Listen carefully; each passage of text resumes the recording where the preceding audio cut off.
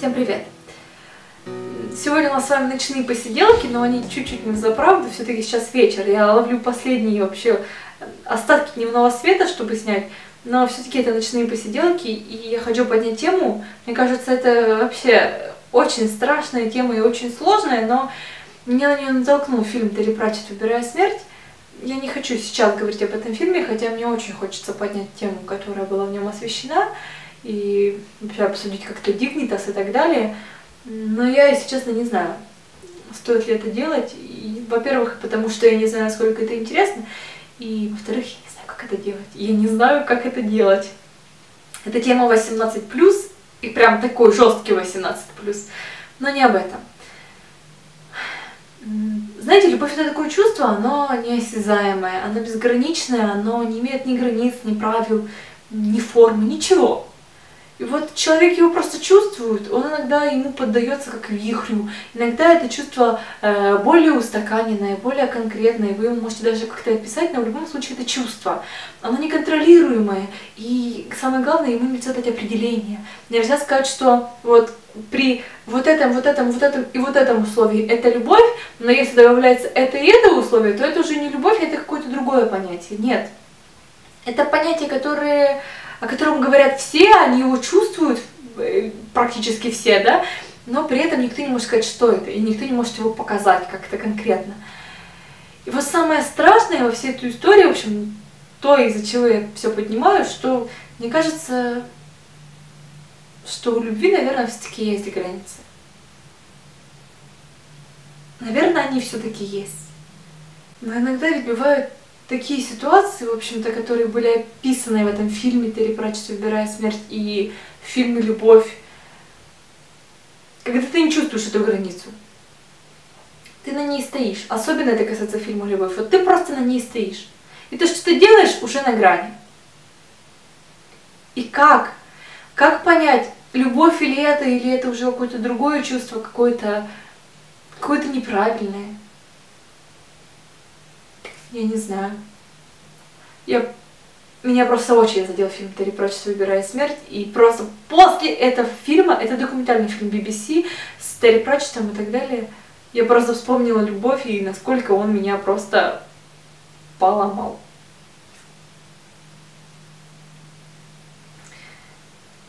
Но то, что было написано Терри Пратчет, э, там была Дигнитас. Я не буду сейчас вам говорить, что такое Дигнитас. Если вам это интересно, ему больше 18 лет, прочитайте, вы тут же поймете, что это. Или если вы читали «До встречи с тобой» книгу, вы тоже знаете, что такое Дигнитас. Но в любом случае, когда человек обращается туда, он, он уже сделал свой выбор, да, он больше не хочет жить. Но у него есть семья, у него есть жена, и вот... Э, фильме от BBC это было показано, когда Терри Пратчетт присутствовал в Дигнитас, когда там был мужчина и его жена. И она сидела рядом и держала его за руку, и она его любила, она его любила больше жизни.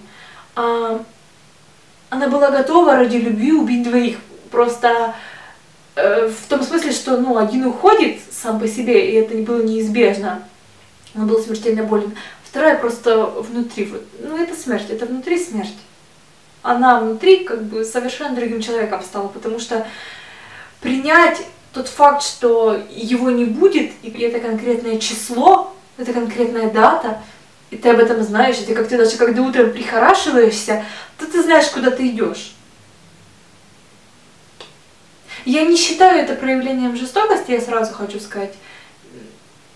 Но во мне это поднимает вопрос, что это?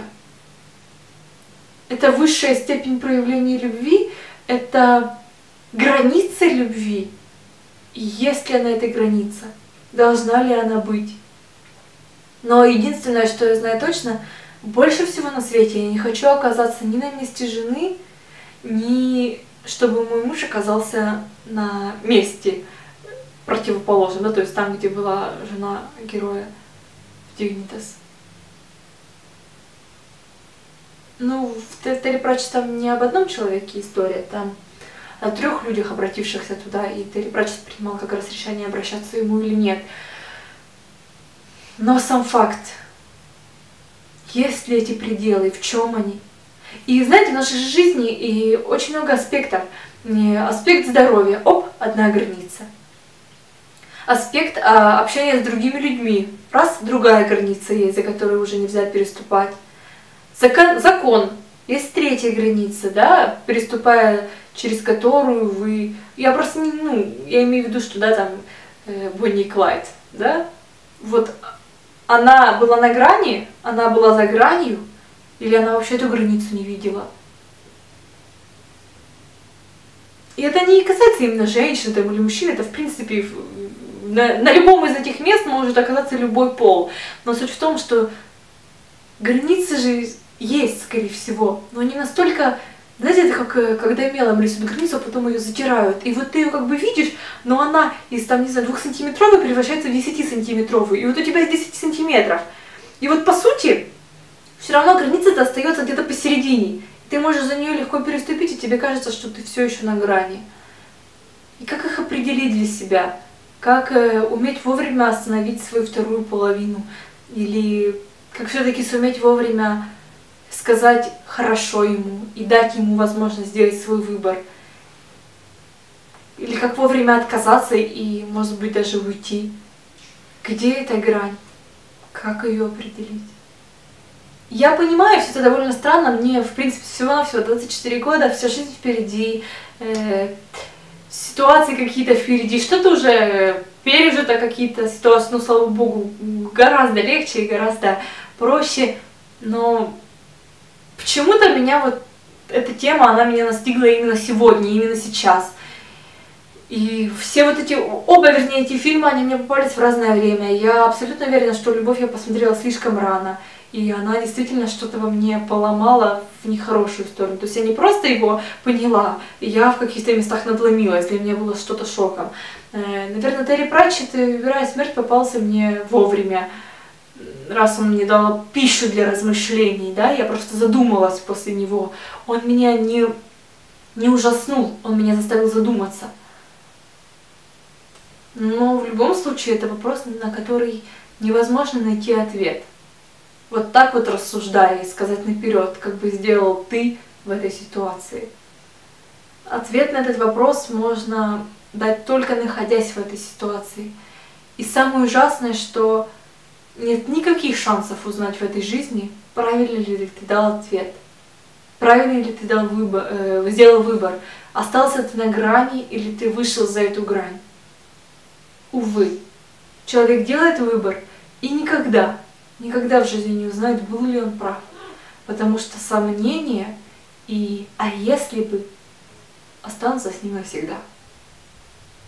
Я, наверное, не до конца понятно выражаюсь, потому что мои мысли основаны на двух этих фильмах, о которых я не хочу говорить, э, не хочу их озвучивать. Э, но, возможно, в целом будет как-то понятно, просто я настоятельно рекомендую, что и «Любовь», и «Телепрочество выбирая смерть» смотреть не то, что 18+, наверное, 21+, и не смотреть э, женщину в положении морально или психологически неустойчивым людям, или очень чувствительным или ранимым людям. Ну, правда, не надо. Но я думаю о границах любви, о гранях любви, задумываясь о каждой из нас. И эта тема просто настолько часто поднимается и в книгах, и в фильмах, и в жизни. Как я сказала уже, даже тот же самый Бонни и Клайд, э, вечный и понятный, и избитый даже в каких-то вещах, он тоже об этом, тоже об этих гранях об этих границах, вернее. В общем, да, пишите, пожалуйста, какие-то свои мысли внизу в комментариях. Меня просто все это очень сильно задело. Спасибо вам за внимание. До встречи в новых роликах. Пока.